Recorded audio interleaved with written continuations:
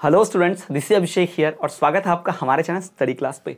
तो स्टूडेंट्स बहुत सारे कमेंट्स आए थे जिसमें बच्चों ने ये सवाल पूछा था कि एमपीटीटी वर्ग तीन के लिए जो बारहवीं प्रतिशत होना चाहिए, कितना होना चाहिए? मिनिमम परसेंटेज कितना होना चाहिए? तो अभी तक सितंबर में 2024 सितंबर में जो परीक्षा होने जा रही है एमपीटीटी की, उसके लिए कोई रूल बुक नियम पुस्तिका आई नहीं है।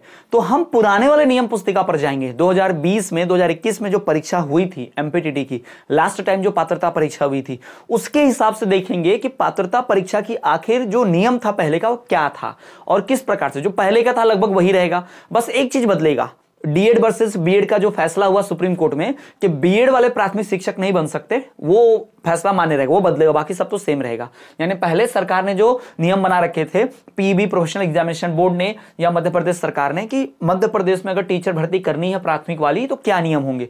पहले नियम ये था कि बीएड वाले भी शामिल हो सकते हैं डीएड वाले भी। बट अब सुप्रीम कोर्ट के फैसला आने के बाद, जो अभी सुप्रीम कोर्ट का फैसला है दो हज़ार में, भाई उस फैसले के हिसाब से कोई भी बीएड वाला प्राथमिक शिक्षा के लिए पात्र नहीं होगा। जो पहले सिलेक्ट हो गए थे, फैसला आने के पहले सिलेक्ट हो गए थे, उनकी नियुक्ति हो रही है। तो अभी कमेंट में कई लोग आए थे, सर, फैसला आने के बाद भी नियुक्ति कैसे हो रही है? तो भाई, वो लोग पहले सिलेक्ट हो गए थे, फैसला आने के पहले। पहले उन्होंने परीक्षा दी थी, पास हो गए थे, और उनकी नियुक्ति होने वाली थी, भर्ती परीक्षा पास कर गए थे। इसलिए उनकी नियुक्ति की सरकार ने और कोर्ट के ऑर्डर से की।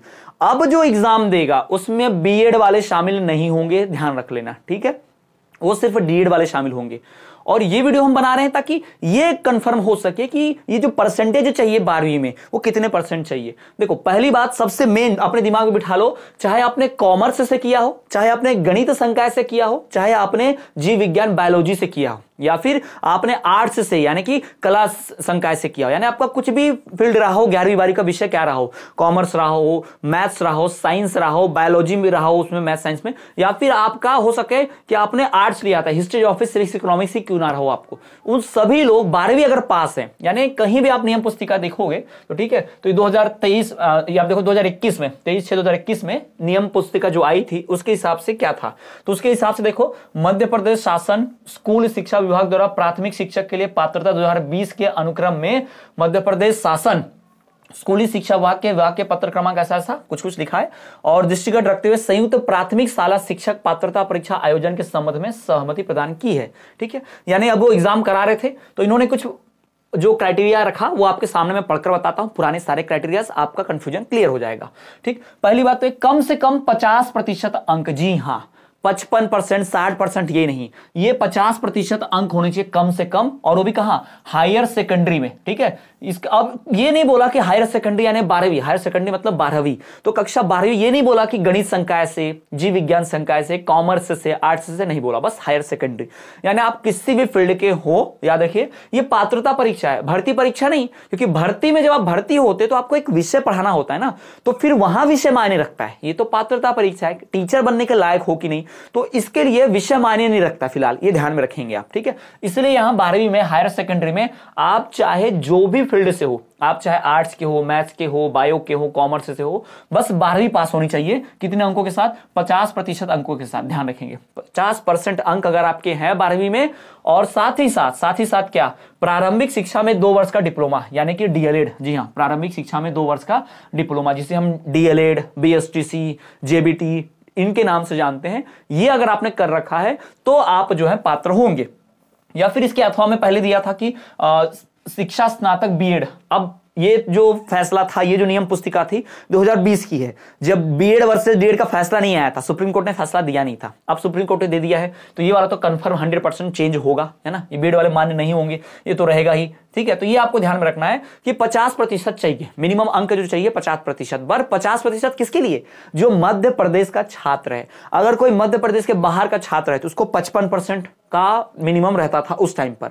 अब आने वाले रूल बुक में 60 परसेंट भी हो सकता है 55 परसेंट भी हो सकता है, ठीक है? 50 तो नहीं होगा कंफर्म है, क्योंकि जितने स्थानीय बच्चे जिस परसेंट में होते हैं, उससे पाँच परसेंट ज़्यादा ही लगता है बाहर के राज्य वालों को। जैसे कोई बिहार का छात्र है या राजस्थान का छात्र है, उसको मध्य प्रदेश में शिक्षक बनना है, मान लो, मध्य प्रदेश की शिक्षक पात्रता परीक्षा देनी है तो उसको पचास नहीं, उसको पचपन परसेंट पे लिया जाएगा, ठीक? ऐसा होगा।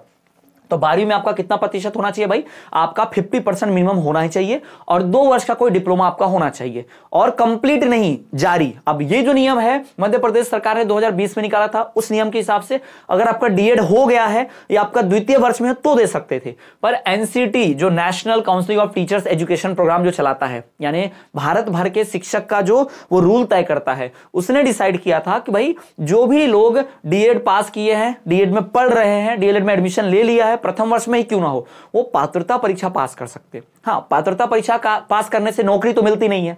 इसलिए यहाँ पर एकदम जो आपका डिप्लोमा है वो, डीएलएड का, वो पास होना नहीं चाहिए। सिर्फ़ एडमिशन भी लिया तो भी आप दे सकते हो। क्योंकि ये एग्जामिनेशन वो है जिसको आप दे के टेस्ट कर रहे हो कि आप टीचर बनने लायक हो कि नहीं। और जब ये पात्रता परीक्षा होती है तो उसकी भर्ती परीक्षा लगभग एक दो साल बाद ही होती है, और डिप्लोमा तो दो ही साल का होता है। यानी भर्ती परीक्षा आने तक आपका डिप्लोमा भी हो जाएगा, पास कर जाओगे। इसलिए सरकार ने अलाउ कर दिया है। कई कई राज्यों ने अलाउ नहीं कर रखा, लेकिन मध्य प्रदेश की सरकार ने, मध्य प्रदेश राज्य में यह अलाउ कर दिया गया है कि जो डीएलएड के प्रथम वर्ष में हो, डीएलएड के द्वितीय वर्ष में हो, वो भी एमपीटीटी पात्रता परीक्षा दे सकता है। ये ध्यान रखिएगा, ठीक? तो आई होप आपको डाउट क्लियर हो गया होगा।